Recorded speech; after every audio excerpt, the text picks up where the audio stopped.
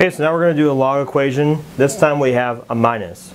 So the minus is different because that causes us to have to use a different rule when we combine these together into a single log. So the idea is still, you still want to combine this together and get a single log, but the minus sign means that we'll have a division instead of multiplication.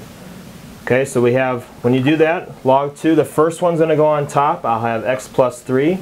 The bottom one's going to be x plus 5. That's going to equal 1.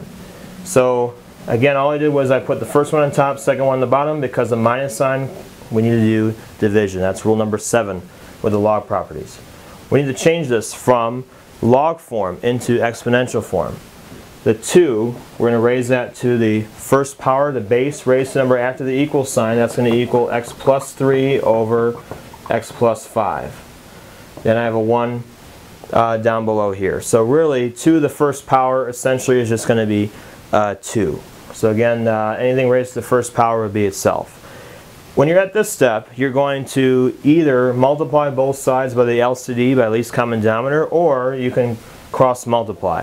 If we cross multiply, we'd have 2 times x plus 5 is going to equal 1 times x plus 3. We're going to multiply this out and we want to solve this for x. 2x plus 10 equals x plus 3. We need to solve this for x, so we're going to subtract x from both sides. We get x plus 10 equals 3.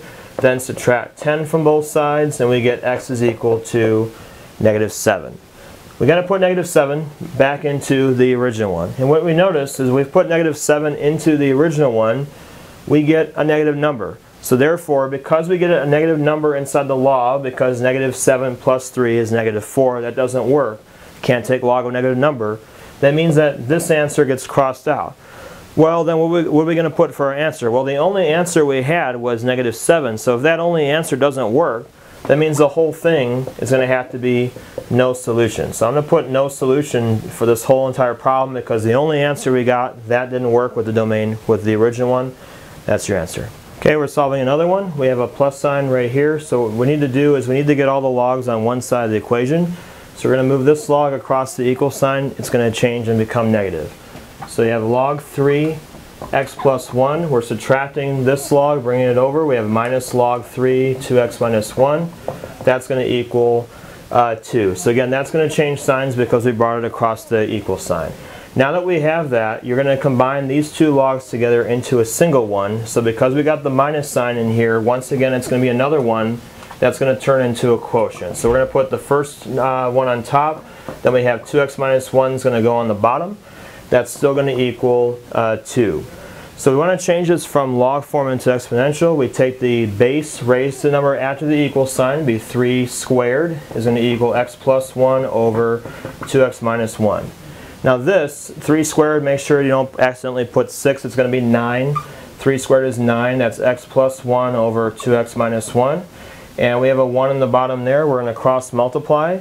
Or again, you can multiply by LCD. If you want to multiply by 2x minus 1, that's okay as well. So we're going to uh, cross multiply 9 times 2x minus 1 is going to equal uh, 1 times x plus 1. So again, we cross multiply those and we got that. You're going to want to distribute the 9, multiply that through because we need to solve this for x. 18x minus 9 is going to equal x plus 1. You're going to add 9 to both sides. So 18x is going to equal uh, x plus 10. And then you're going to subtract x from both sides. You get 17x equals 10 divide both sides by 17, you're going to get 10 17ths as your answer. Now if you were to put that into a calculator, that would be approximately equal to uh, 0.6. Now 0.6, you can estimate it with the original one. We want to know what that decimal is because we need to know whether 10 17ths actually works or not. So if you put 0.6 in here, 0.6 plus 1, that's a positive number. 0.6, 2 times 0.6 would be 1.2 minus 1. That gives you a positive number also. So that means that this answer would work. So our, our single answer, we have one answer only in this one. Fractions are allowed on these kind of problems. You would get 10 17ths.